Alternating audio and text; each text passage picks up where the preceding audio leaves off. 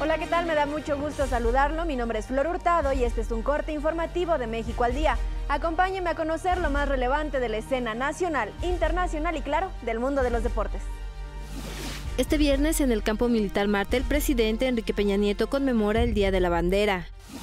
El nuevo embajador de México en Washington, Jerónimo Gutiérrez, consideró que la decisión de recibir en Los Pinos a los secretarios de Estados Unidos Rex Tillerson y John Kelly fue acertada porque era muy importante que el mandatario Enrique Peña Nieto les transmitiera directamente el mensaje a los emisarios de Donald Trump.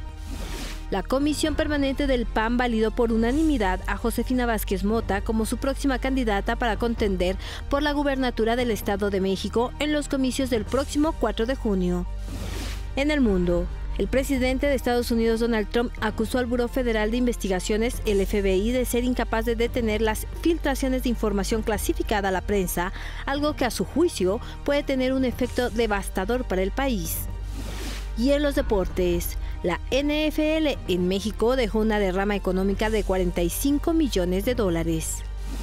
Muchas gracias por acompañarnos. Yo lo invito a que se mantenga informado aquí en Televisión Educativa.